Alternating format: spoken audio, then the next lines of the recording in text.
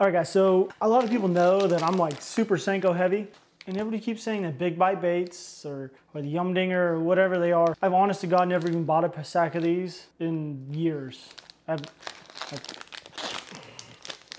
so I'm, I'm gonna be very unbiased when I do this though. You guys all know I don't get paid by any of these companies. For one, Yamamoto, Gary, Mr. Gary Yamamoto, does not need to pay anybody to sell his baits. But these are brand new bags. We're gonna be doing a comparison. Underwater footage. Like I, I couldn't even, I can tell you right off the bat.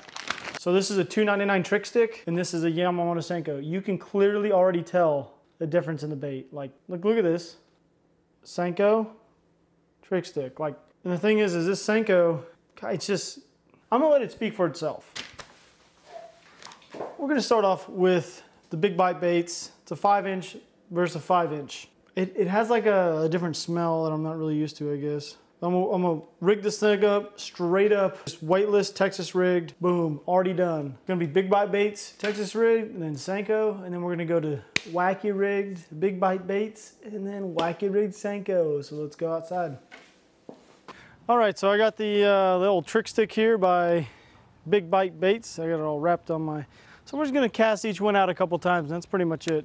So the descent rate on the trick stick seems kind of, uh, seems a lot slower than, than the Senko. Now one thing I think I see automatically is I don't believe it wobbles like the Senko does, but I could be wrong. I mean, we're about to find out all together when we look at the underwater footage, but I don't believe it does. I'll pitch it out there one more time. Okay, this one should be directly in front of the camera. It is, it's really slow. I think it's slower than the Senko. I don't really know, but it is slow, which is, which is a good thing. It sinks, but I don't believe it has the same wobbling effect as the Senko does. I just, I just think it just falls straight down. I'm gonna go grab a Senko, I'm gonna put it on and we'll see what the real difference is. All right, got the Senko.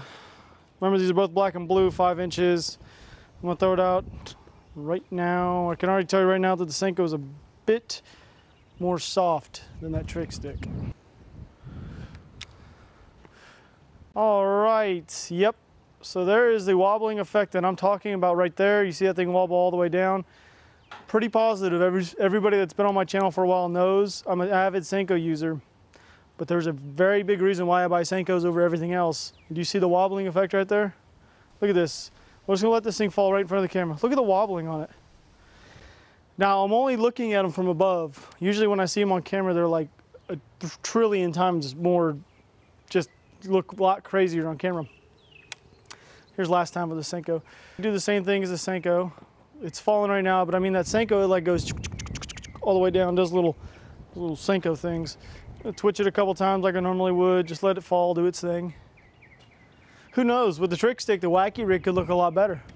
You know, I, am sounding like I'm really biased towards the Senko, but I'm telling you right now, I'm being fair and impartial when doing this. That is a part of a creed that I once used to have to live by and don't anymore, but I will still yeah, kind of do it.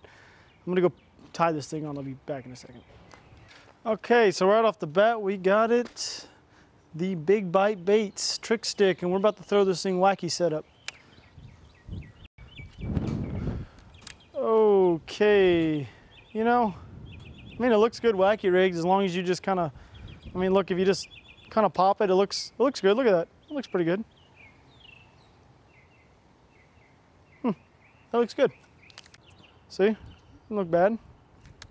Throw it one more time in front of this camera and I'll grab the Senko.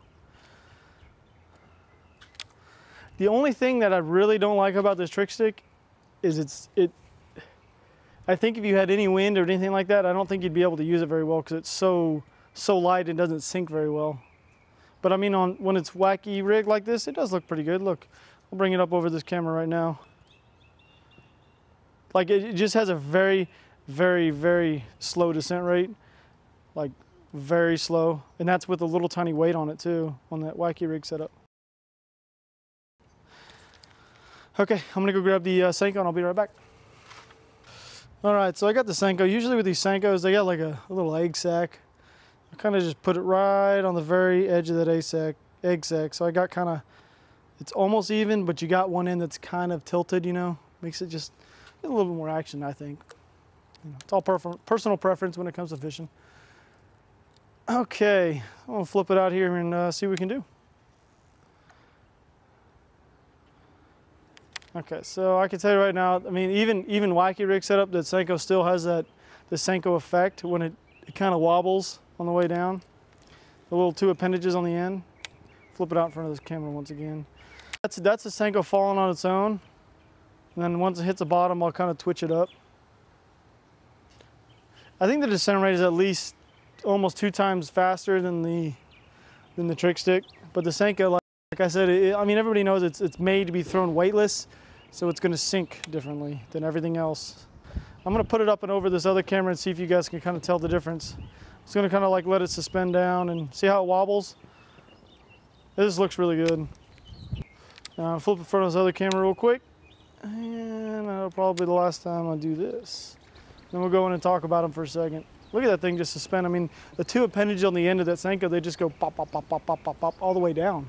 So, just I know my sound effects kind of, they sound pretty good, don't they? I really like this camera, so I'm gonna kind of swim it over the top of this camera because this camera is actually laying on the bottom of the pool looking up.